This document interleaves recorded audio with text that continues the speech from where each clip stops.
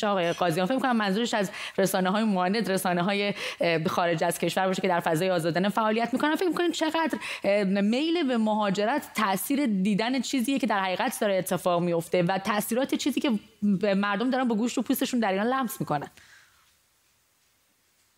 واقعا خودتون جواب مکمیل دادید. چون به هر حال می‌دونیم که مهاجرت یه موضوع فوق العاده پیچیده عوامل خیلی زیادی در مقصد وجود دارن که جذب می‌کنن و عوامل بسیاری در مبدع وجود دارن که دفع می‌کنن و منحصر کردنش به رسانه ها اون هم فقط رسانه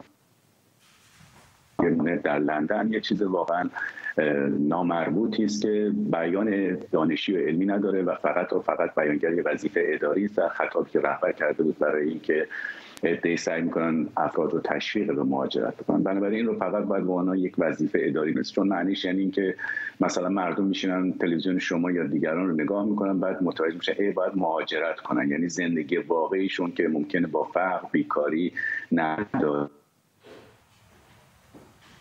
فکر می‌کنم که تماسمون با حسین قاضیان جامعه شناس از واشنگتن هم در این هوای چهل و چند درجه. وصل شد. آقای قاضیان میشنویم. برای لحظاتی صداتون از دست دادیم. بله. که انگار که مردم مثلا در زندگی واقعی روزمرهش اینا رو احساس نمی‌کنن. منتظرن شما در تلویزیون رو باز کنن و ببینن که در ایران مثلا بیکاریه.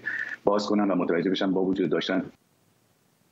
در خوب جای مراتب شغلی ندارن. و امثال اینها سپاسگزارم از شما قاضیان مثل که ما امروز در تماس های تصویرون خیلی خوشناس نیستیم. صدا و تصویر شما هم با کیفیت لازم و کافی نداشتیم. حسین قاضیان جامعه شناس از واشنگتن امیدوارم می‌تونیم در فرصت دیگری این بحث رو بیشتر هم مطرح بکنیم.